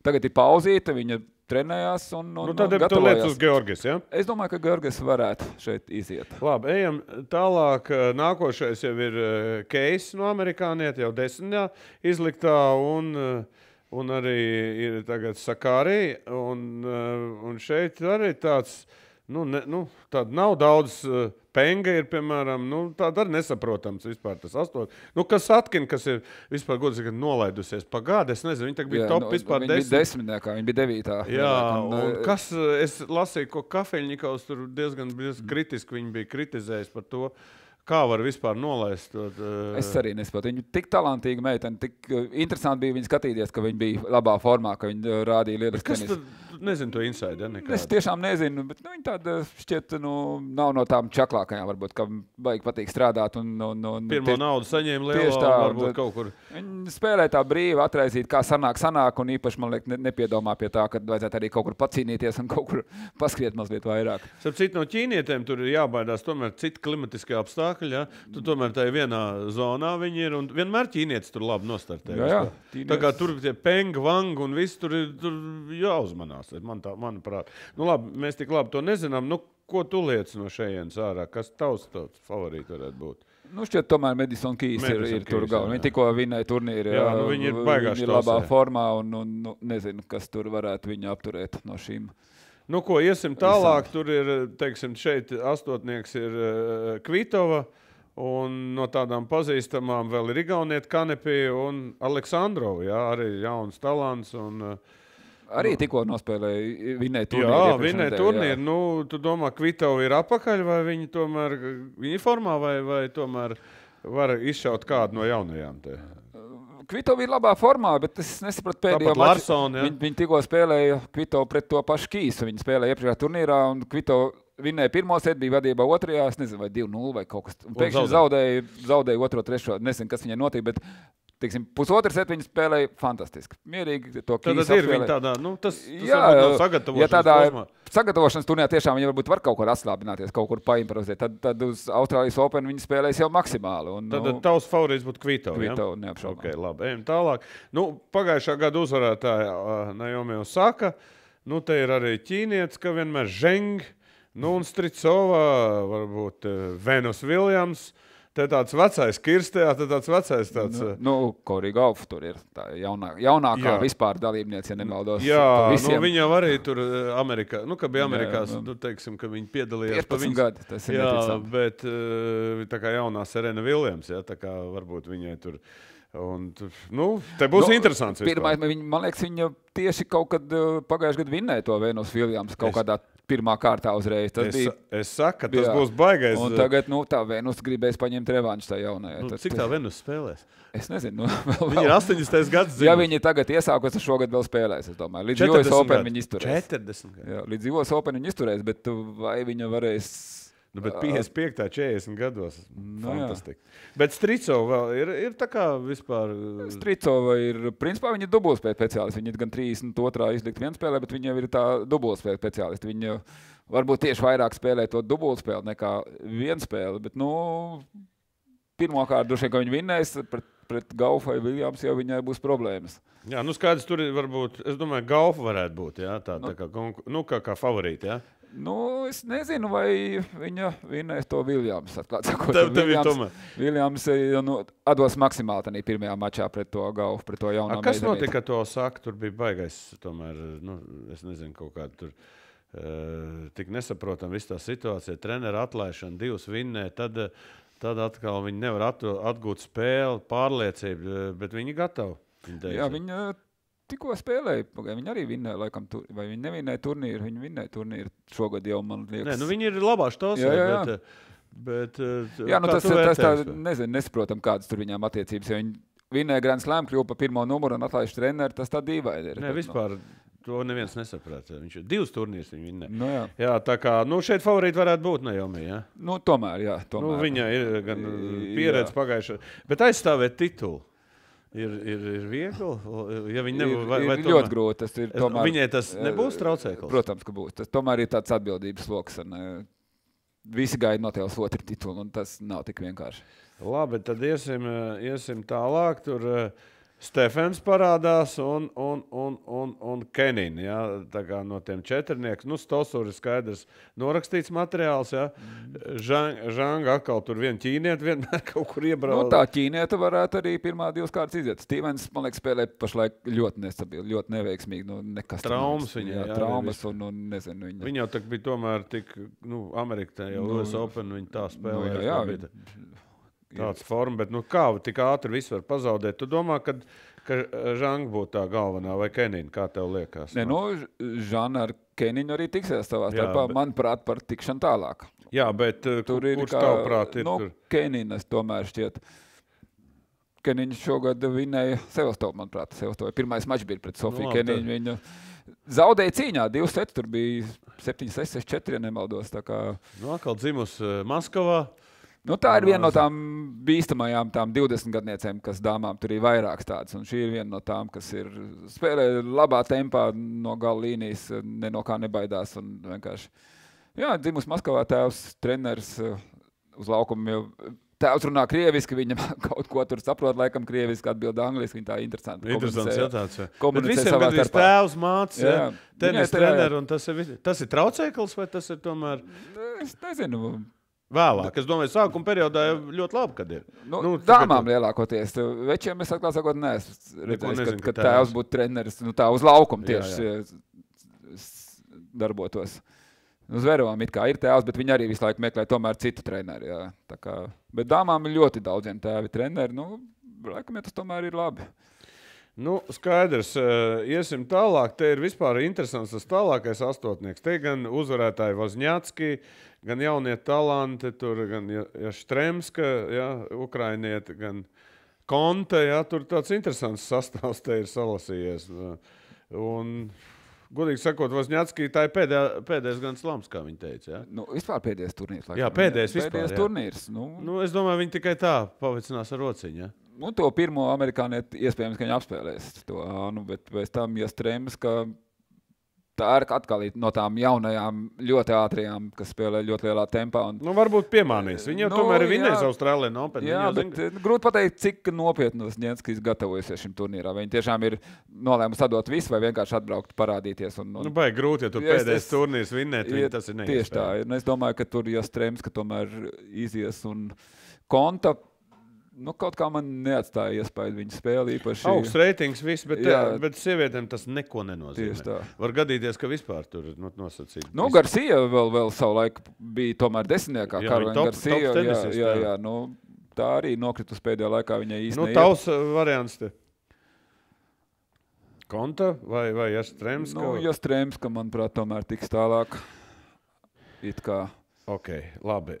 Nefilozofēsim, jā, te mums gandrīz Interesanti nu, ir tā, arī tā marokānieta, Žabūra. vai? Jā, ot es par to gribēju daži. daži. Viņa tāda ļoti tāda puiciska ir, kas spēlē ļoti interesantu tenisu. Un, kur, Viņa varētu arī izsist to kontu jā, pirmā kārtā. Jā, varētu, protams. Tur viņa- varētu arī cilvēki paskatīties. Nu, mēs beigās tos, e, pastīsimies tos likumus, bet nu, iesim tālāk. Un pēdējais, e, pēdējais, četrnie, pēdējais astotnieks, e, četri pāri - Serena Viljams. Jā, Serena Viljams un, un Vanga atkal kārtējā, jā, bet nu, jau izsētā Vanga. Jā, un, e, nu, Serena Viljams vinnēja turnīru. Nu, Visi tagad galveno jautājumu uzdod, vai viņi var vinnēt nāko, to saucamo 24. vai kur tur titulu. Ja? Jau, jau visi ir aizmirsuši, cik Stefija grāfiņi pārsitus. Nu, ko tu saki? Nu, vinēt var, vinēt var viņa turnīru. Tomēr katrs mačs ir atsevišķi. Divu setu mači viņam ir. Katru, pēc katra mača ir viena brīvdiena. Uz tādu vienu maču viņi var katru dienu sagatavoties un nospēlēt. 38 gadi. Jā, bet to vienu maču viņi var sagatavoties, nospēlēt. Tad atkal, nu, es domāju, viņai gan komanda, gan pašai pieredze tāda, Kā viņi mums priekš Latvijas federācija kaus, lai viņi pirmā kārtā dabū iekšā un dusmīgi aizbrauc un pasaka, es negribu vairāk spēlēt. Nu, nu, Vai labāk, ka viņi vinnē turnīru? Kā ir labāk priekš Latvijas? Tas, manuprāt, nav tik nav. svarīgi. Ja viņa ir nolēmusi spēlēt, es domāju, pat tas ir labi, ka viņa spēlē pret Latviju. Tas, tas mačs uzreiz ir nu, nu, tomēr pamatīgi interesantāks. Nu, tur jā. mēs uzreiz redzēsim arī mūsu meiteni. Tieši tā.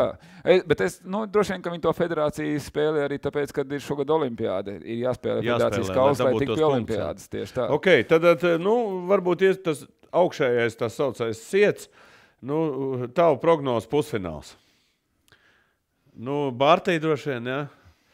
varētu būt uh, nu, ar nu, lielākie kon konkurenti. Bārtaļs, Saka, Serena Viljams. Vispār tā ir saldzies diezgan labi. La, Kvitova tur ir pa vidu. Jā, jā vēl Kvitova. Es saku, nu, no šiem četrām, kas tev, kas tev, nu, tie ir tādi galvenie konkurenti.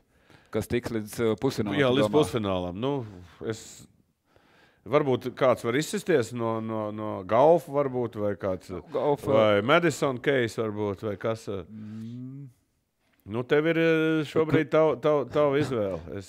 Kvito var serēnu tie, kas ātrāk vai ne, vai, vai Kvito iet uz Osaku, es tā īsti.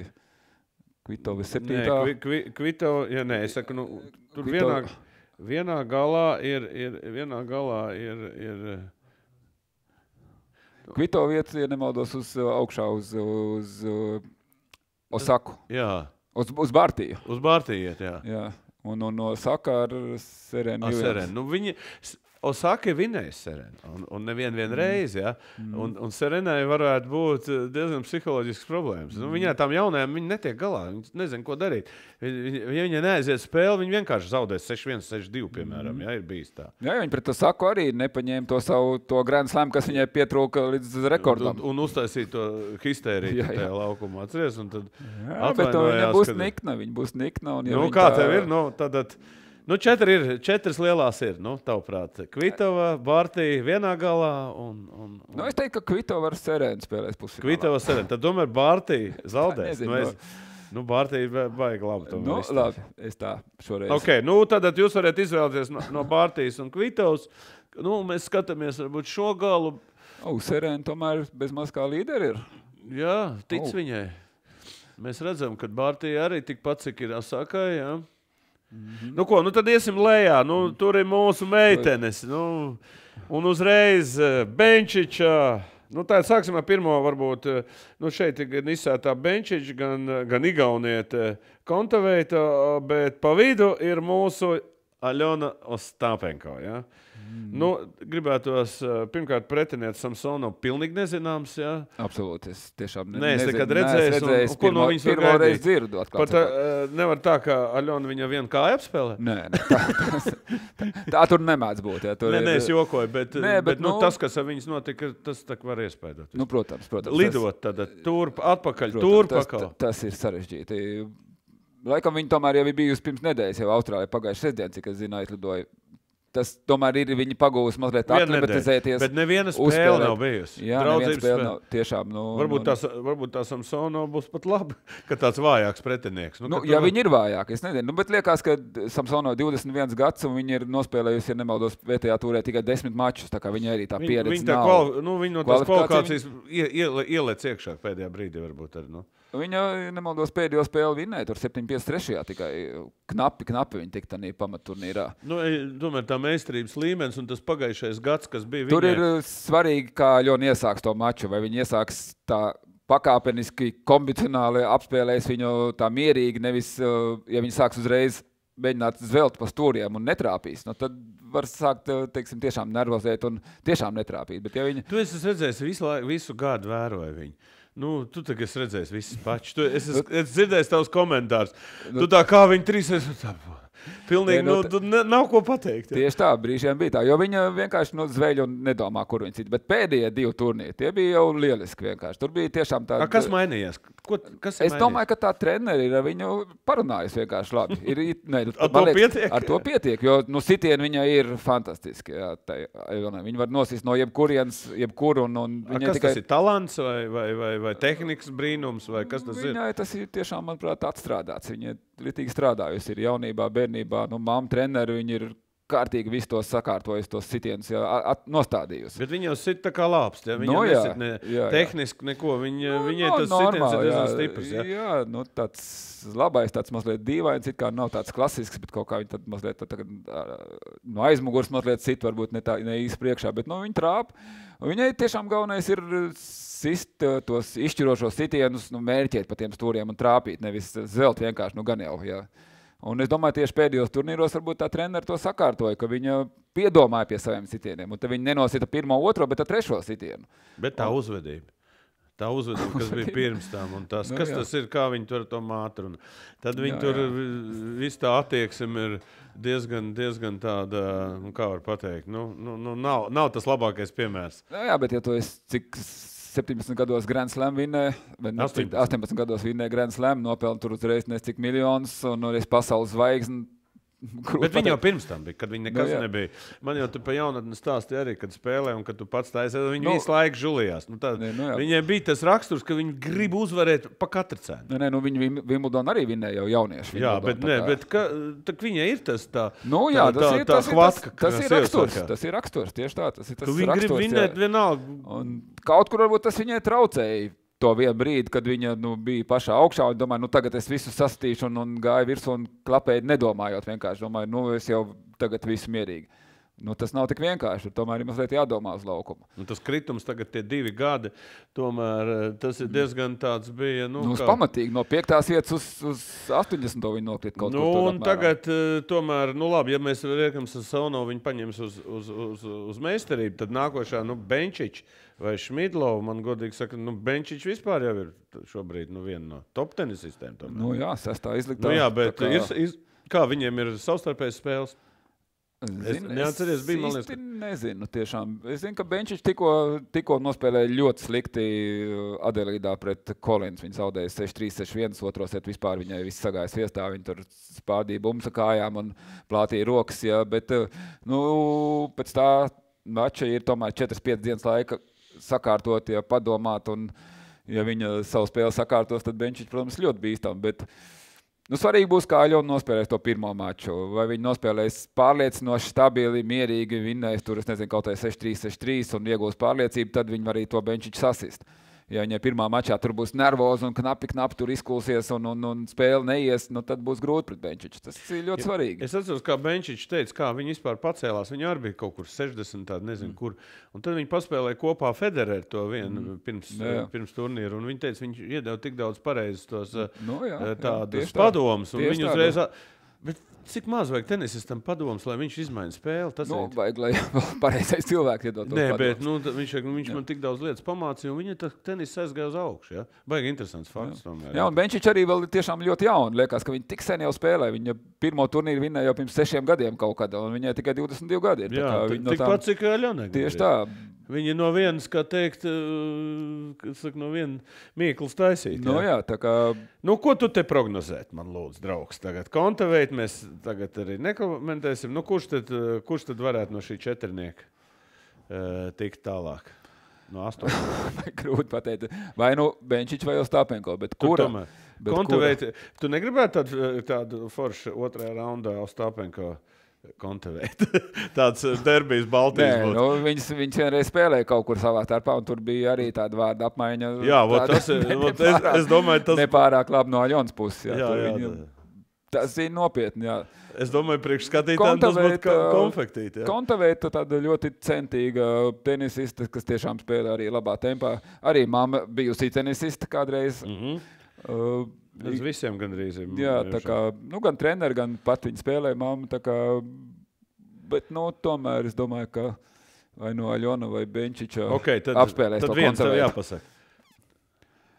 Nu, būšu patriots un teikšu, ka Aļona tiks Ļoti labi. Ļoti labi. Trešajā Tā, kārtā. nu ejam tālāk. Tur ir uh, vecie kadri Vekičs, Šarāpova, Wildcard tikus un Sabalenko, kas arī pēdējā laikā diezgan slikti spēlē. Ja?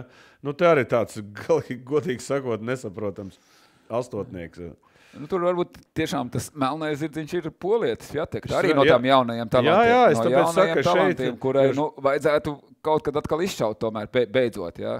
Viņa var, var visas tur apspēlēt. Principā. Jo mēs redzam, kas tur notiek. Notiek Vekičs, Šarāpo, Suāreš, Navarro, Sabaļenko. viss, Nu tā.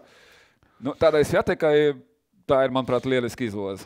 Nu, es domāju, ka viņi trešā Nu, nu, raundā vienīgais, var, var, var, var iekļūt. eh, Sabaļņēnka var viņu sasist. Ja Sabaļņēkai krīt, nu viņa ir tik uh, tāda masīva, ja, tik agresīva, un ja viņi iet virsū bumbai, nu viņai lido mums mežonīgi. Viņi var to Sjatek arī sasist, bet uh, Nu, Sabaļenka arī pēdējā laikā, es saku, viņi tik labi iestartē. Es domāju, ka viņi. no, viņi tikko jāzaudē tajā jaunajai. Es saku, Ja- ja- viņai ja iet tas, tas, tas, ja. tas, tas rezultāts. Nu, ejam tālāk, tur ir Mertens, eh, Pliškau jaunākā un, un, un Flipkens un Muho, nezinu, nu, droši vien Mertens ir tā, jā, varētu. Nu, izskatās arī viņai.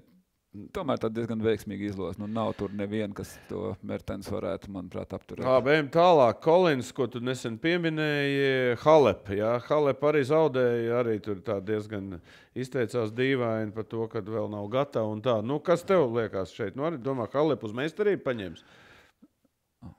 Nu, liekas, ka jā. Liekas, ka jā.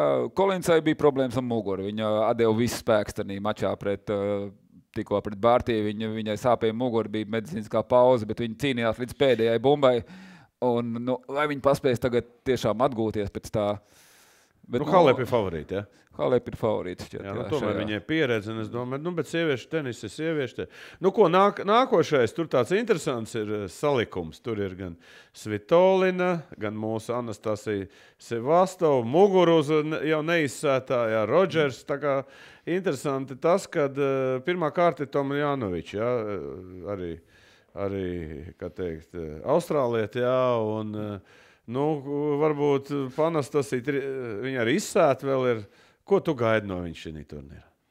Viņai tā Austrālija vienmēr padevusies. Nu, jā, es domāju, ka šo pirmo kārtu viņai vajadzētu grūtā spēlē tomēr uzvarēt. Būs, protams, pretī tribīnas, tur nebūs viegli, bet nu, Tom Jānovičs tāda, nu, it kā neslikta spēlētāja, bet nu, nav tāda, tāda izteiksmīga, ka viņai Kas kaut viņai kas tagad būtu. ir? Viņa formā, viņa pēc traumas, kā viņa atgūsies.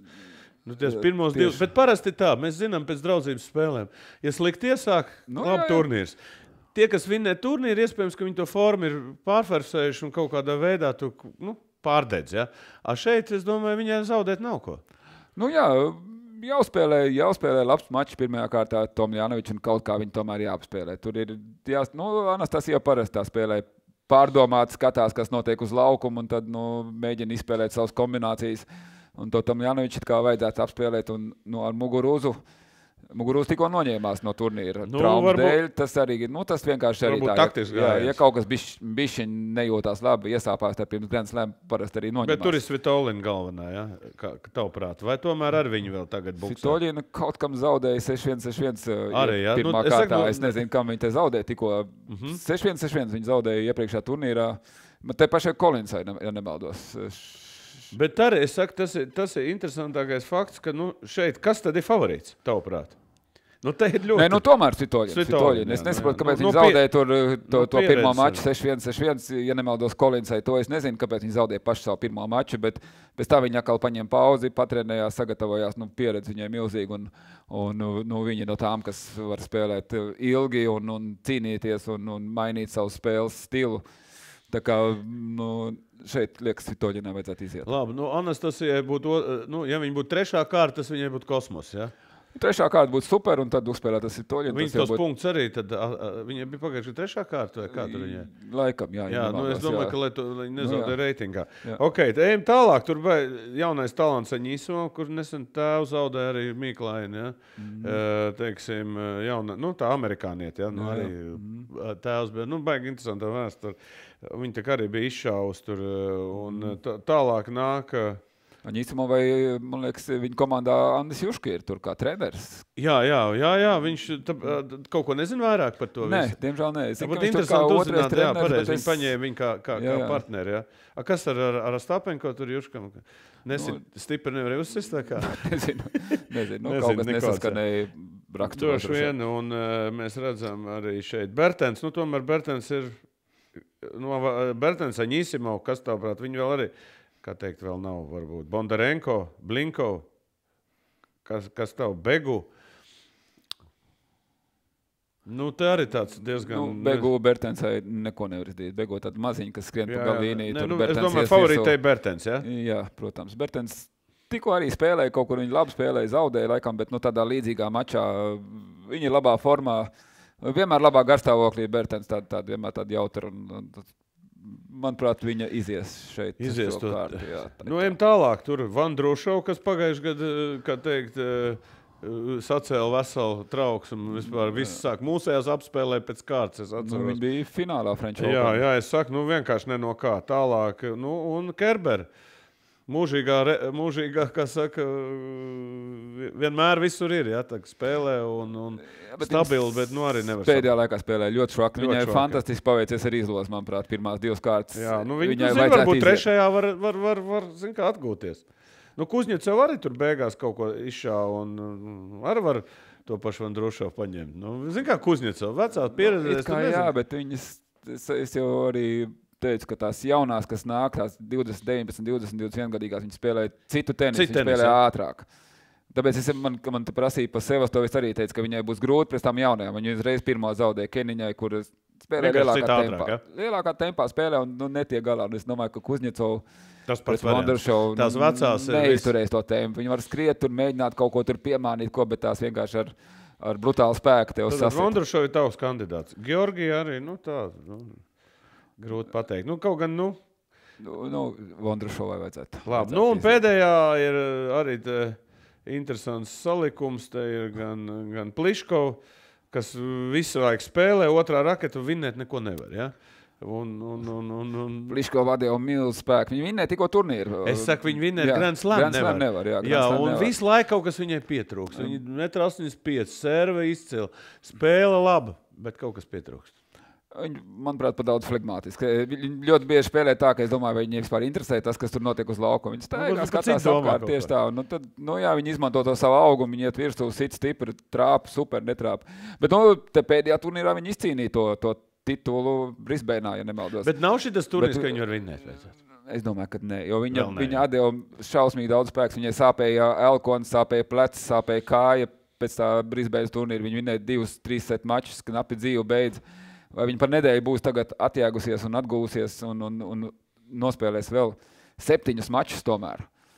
Nu, nezinu. Bet tagad mēs paņemam visu to sietu. Nu, tur īsti nav neserēnas. Nu, tur ir halepa varbūt. Bet nu, Bārtaļa un Osaka viss ir augšā. Ja? Nu, jā. Šeit ir nu, Kvito. Šeit ir tomēr vājāks, daudz vājāks. Ja? Nu, nu, Halepa, Svitolina, kur tu saki, kas nav formā, un, un Vandrušova, un, un Kerbera. Un, un, un, godīgi sakot, nu, šeit var, var, var varbūt ieliec varbūt visu to uh, viens, viens prognoze. Nu, ot, Nu, vienīgā no tā gala redz, ka Karolīnai Pliškovai 11,5, Halepai arī 11,5 un Sabalenka arī 15. Tomēr nav tik traki. Tā kā, un un mm. Svitoļina tikai 23 un Benčiņš 31. Tā kā mēs redzam, mm. galvenās konkurences ir Pliškova tomēr un Halep ja, no tā gala. Mm -hmm. Tad gandrīz vai pēc prognozēm ir jāliek tāds pusfināls. Nu, labi, tad, tad prognozējam pusfinālu un finālistu. Tātad tu jau biji pateicis no tās Es- puses, tu biji pateicis. Kvite, Kvito un Serena Viljams. Jā. Nu, paliek pie tā. Nē, tā, tu, Jā, tās, bet jā. tagad ir jā, apakšā. apakšdaļa. Kas Tātad tur Halep. vai Halep tik līdz finālam, līdz pusfinālam? Nu, tur var visādi brīnumi būt. Ja? Va, nu, gan, es domāju, gan, gan eh, varētu. eh, Es domāju, Mertens, jā, kā tu vērtē, Sabaļņēnka, Mertens vēl. Nu, Mertens, nu, es godīgi sakot, te tiešām ir. Nu, tāpat Benčiņš nav formā. Jā, Jā, un, nu, šausmīgi grūti pateikt. Nu, ja tā, nu, Mertens var būt viens. viens o, nu, Kolins, tu saki, arī jau tur pusdzīvu skraidīja.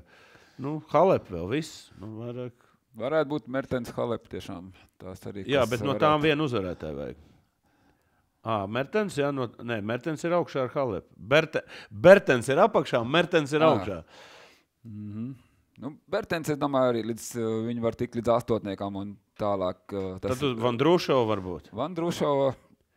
Nu, tev jā. jāiedod Lūdzu Pliškovs vai Vandrušava un Halepa vai, vai, vai, vai Mertens. Tās nu, viena no tām būtu. Jā, viena no tām. Vai Aņisimo varbūt. Tas jau nu, pat Aņisimo vai ar tikpat ir, cik Vandrušava ir. ir, ir, ir, ir, ir mm.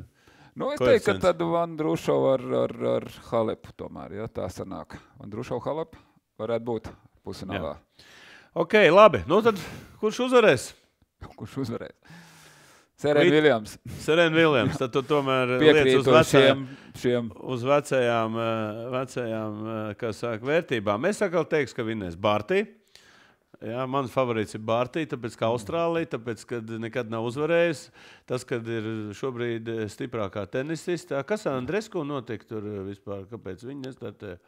Viņa ir trauma, man liekas. Nu, jā. acīm redzot, jā, es tiešām Jo nezinu. tādu jā, tenisu An- spēlēja tur Open, bija ļoti interesanti. Jā, Jā, un žēl, žēl, žēl, tā- ka viņas nav. Jā, tā Jā, ir- nu, manuprāt, ka Bartīs laiks ir pienācis. Nu, ja vienīgā, kas viņu var pamaisīt, ir Osaka, manuprāt. Serena nevelk ar viņām, kā tu saki, tempa spēles vairāk nevar nu, būt. jā, Nu, ko, būsim uh, paprognozējuši gan vīriešu, gan sieviešu uh, tenisu, bet mums jau interesē tie latvieši. Un, un, un kurš no tiem trījiem, tavuprāt, izsitiesies vis tālāk? Vai nu Sevastovs, Ostapenko vai Gulbis? kurš būs visaugstāk? Vai viss pirmā kārta izkritīs? nu, es ļoti ceru, ka viss neizskatīs pirmā kārtā. Nu, pirmā kārta abām meitenēm jāuzvar pirmā kārta, manuprāt. Ernestam? Ernestam būs grūti. Es Būs grūti. ceru, bet es neticu. Labi, tad, sakot. nu, tad augstāk būs Anastasija vai Aļona. Nu, Aļona tomēr. Tur varam jau. Tad Aļona pirmā, domāju- Sevasta otrā, Gulbis. Aļona trešā kārtā, Sevasta otrā, Gulbis pirmā.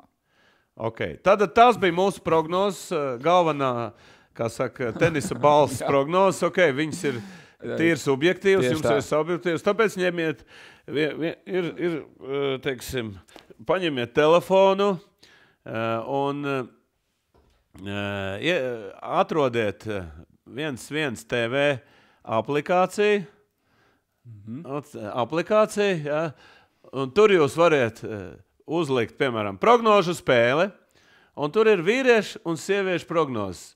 Paņemiet caur Facebook, kas saka, piesakieties tur, un tālāk jūs varat ielikt četrus labākos pusfinālistus, un, un no tiem četriem izvēlēties uzvarētāju. Gan sieviešu, gan vīriešu eh, nu, daļā. Ja? Tā kā Ko es gribēju novēlēt jums visiem veiksmi un novēlēt mūsu uh, tenisistiem, tenisistiem un tenisistam uh, veiksmi, jo tomēr, jo viņi tālāk tiks, jo lielāka interese būs par Protams, tenisu. jā, protams. Paldies, Mārtiņ, par sarunu. Es domāju, ka mēs nākotnē arī piesa, pieslēgsim kā, Kārlu Lēnieku klāt.